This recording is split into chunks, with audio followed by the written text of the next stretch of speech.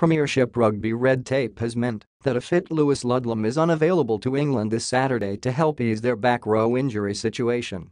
Eddie Jones was so short of resources for last Saturday's second World Cup warm-up match that he was forced to select hooker Jack Singleton as a reserve back row forward for the loss in Cardiff to Wales.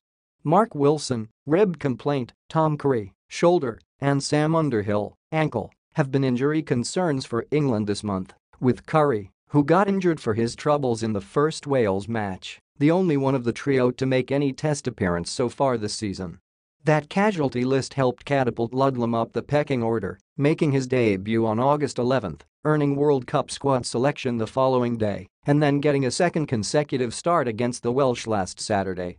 However England are not able to call on the 23-year-old to face Ireland at Twickenham.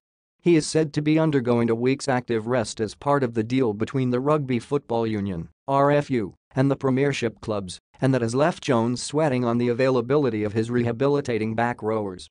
Those guys trained, trained well, and we will continue to monitor them as training progresses, said forwards coach Steve Borthwick at a media conference after all three had trained at Pennyhill Park on Wednesday.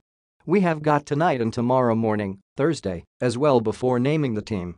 England will want all three available to take on Ireland to offset any need to pitch Billy Vunipola into a third test in as many weeks. Maro Itoje and Courtney Lawes are also further options to slot into the back row should either lock be required to step out to a loose forward role. Thank you for watching. Please subscribe our channel for new rugby updates.